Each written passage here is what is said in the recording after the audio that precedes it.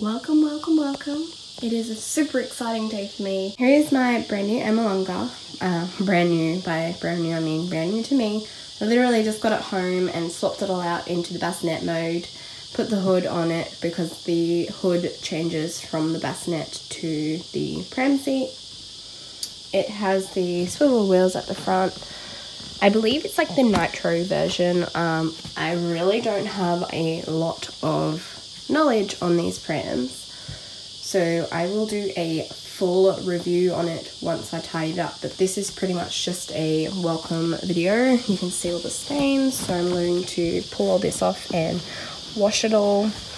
Um, it's got the two mattresses. So she said that she bought this one as an extra because the one that came with it wasn't enough, which it doesn't look enough. um, then you've got your base down there. This leatherette, I'm going to pull it all off and give it a wash, but it's quite beautiful. I love it, but I don't, I don't know how I feel about it. It's so pretty and it's white leatherette. It's more cream leatherette.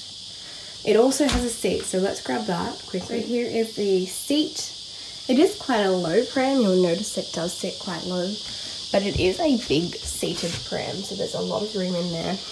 You can recline it pretty much flat uh, with I just it's all old school. Like this is the leather to recline it. It's strange. There is a seat fully reclined so it does like I said lie flat and it does look like it's got a bit of padding in there. I don't know. I like the harness. It's quite easy to do up. But again it's the older style. I'm going to have to see what I'm going to do with this. We've got some cracks I know you can get a leather, like a polish kind of thing. But yeah, either way, it needs to all come off and be cleaned, wipe it all down. You can see a bit of dirt in there. And then I will take it out and I'll decide if I like it or not. but a part of my channel is that I do pram reviews on different prams. So here is an Emmaljunga in the white cream leatherette I believe it's a nitro. Today the fun starts. Just here there was some marks, some a big dirty mark there. So I've got some leather cleaning wipes. I'm just wiping it and hopefully get all the marks off. The straps are a little bit dirty. So I'll go over them.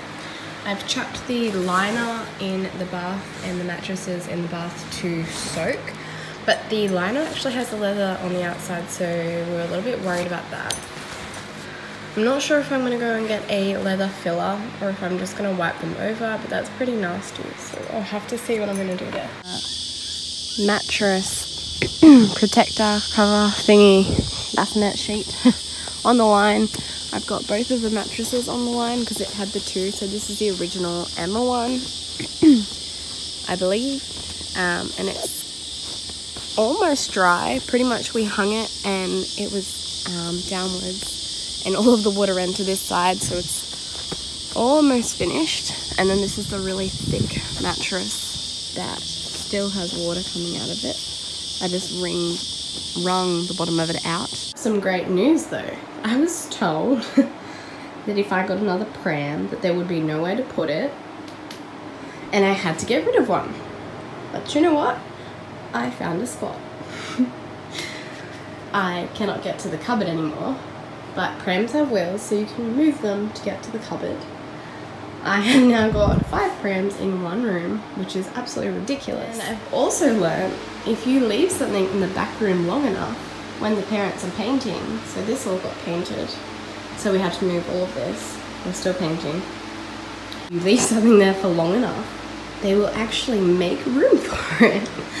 There's even like a little suitcase down the bottom and it fits in with mum's antique collection. I've put um, this little teddy bear and the rattle was already in it. And mum put her doll. Now on, if I said Emma, I mean my Emmaljunga. But my Emma has a bassinet and a seat, so yeah, that's fine. I found somewhere for the pram um, chassis to go, the pram frame. Now I need to find somewhere for the bassinet to go or the seat to go when it's not on the frame. I have a massive dilemma. I feel like I should get rid of the cot, but then I don't have like a cute little place to take photos of them. I could probably get a bassinet, which would take up like that much room. And then like I could have like another two prams here. Why do I have so many prams? I need them. I'm not selling the bug. I love the way it pushes and I love the way it looks, especially with the Bassie. So that's not going. This is my new love, the Valco Snap Ultra. It pushes so well. It folds up really cool because the seat can stay on this way. And however lightweight it is, you can't tip it. Like I'm leaning on this and it doesn't tip. The Strider, I kind of want to sell it, but I won't because it's so handy. It's such a common pram that it's good for pram ladder photos and it's also handy with the capsule. I can do tips and trick videos with the Strider pram because something always comes up like I've just done. The Mima, I won't get another one the same. It is a white pram with a black frame. It's absolutely ridiculously cool. It's just designed weird and cool. And I just found the little girl that I just bought, the reborn, that will fit in the seat now, so that's not going. The Emma. I really like it, but I don't like that it's old school. So like some parts on it. The hood isn't huge. These straps really bother me up here.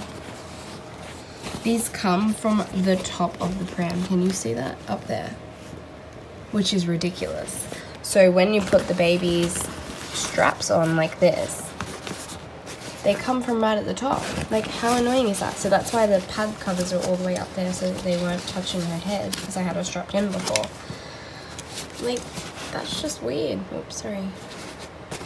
I hate that. And I also hate the recline. It's like this little middle button. So the feather light, I love. It's just so unique. Like, look how cool and bouncy that is. I just don't want it to hit the wall behind it. Oh, it just has to stay. It's it's so awesome. And I love that it sits here with that briefcase. It looks super cute. So all, all of these prams are important to me.